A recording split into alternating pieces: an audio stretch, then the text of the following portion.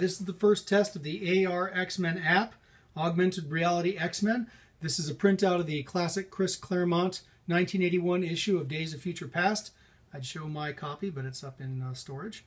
And I've got my 5S here, and we've written it so that it is a fully executable app that goes into video mode. The minute it recognizes that image, it pops a three-dimensional textured and animated sentinel on top of it.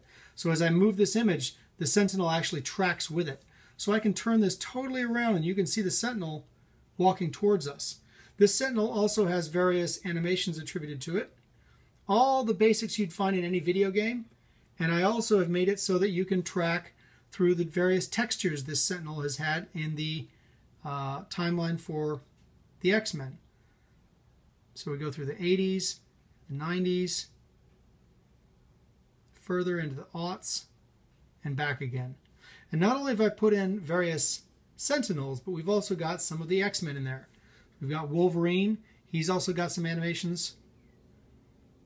We've also got Jean Grey. We've got Scott, Cyclops.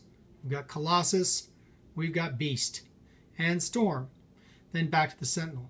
So this has a lot of potential to have a full game in it where people can track to any image that we program into it, whether it's old issues or new issues of Marvel Comics, as well as Comic-Con magazine covers. So as people pick up these images, boom, they download the app and they play a Marvel game right on top of it. A lot of potential. Make mine Marvel.